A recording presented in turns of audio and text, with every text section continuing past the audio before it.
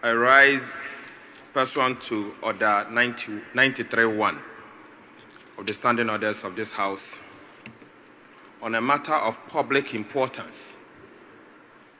The Speaker, it has come to our notice that the Honorable Peter Kwakye Ackah, the current NDC member for Amenfi Central in the Western region, has filed with the Electoral Commission to contest as an independent candidate. The Honorable Amoako Am- Asiamah, the current independent member for Fomena constituency in the Ashanti region, has filed with the Electoral Commission to contest also as an NPP candidate. The Honorable Cynthia Mamle Morrison, the current member of parliament for Agona West constituency in the Central region, has filed with the Electoral Commission to contest as an independent candidate. So, Speaker, the Honorable Kojo Asante, the current NPP member of for Suhum constituency in the, in the Eastern region, has also filed with the Electoral Commission to contest as an independent candidate. So, Speaker, a similar matter involving Honorable Andrew Amoako Asiamah was referred to this House by the New Patriotic Party, the NPP, in November 2020.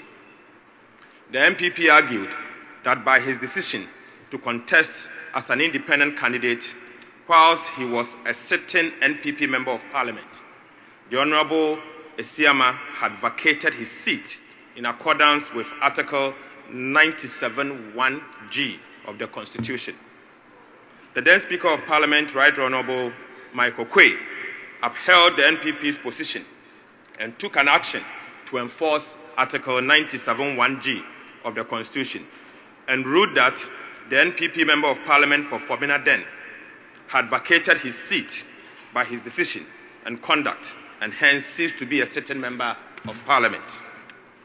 Mr. Speaker, this ruling was not contested and has still not been contested and remain good and valid as a rule of this House. Right Honorable Speaker, we therefore call on you to enforce the existing ruling of this House based on Article 97.1g and h.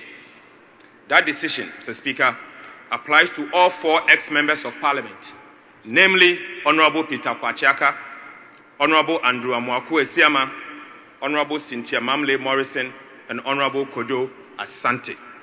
Mr. Speaker, on the basis of this fact, these, these persons, namely Honorable Peter Kwakye Ackah, Andrew Amoako Asiamah, Honorable Cynthia Mamle Morrison, and Honorable Kodo Asante, are deemed to have vacated their seats accordingly. Right, Honorable Speaker, this means that currently we do not have an independent member of parliament.